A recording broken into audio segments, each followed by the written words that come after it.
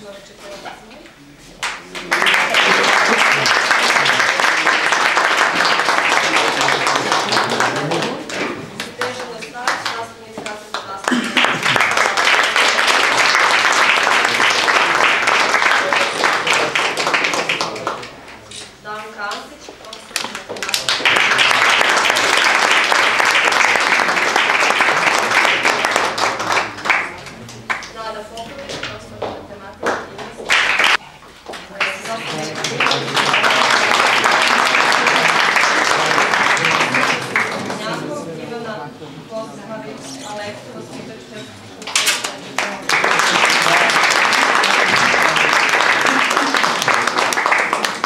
Danijela Potić, nastavnik razreda nastave, osnovna škola Bravo.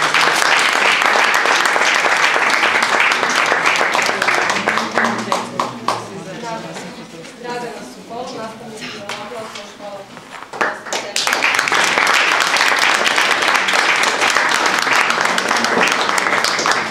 Milan Marinković,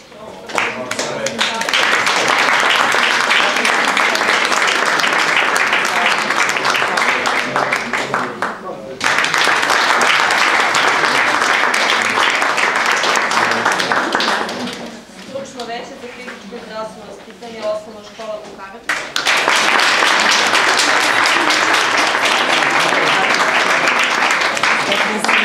Nastavnik informatike i računarstvo, osnovna škola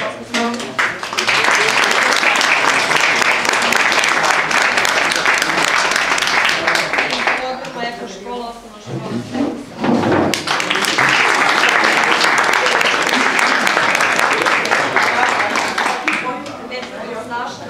poslednji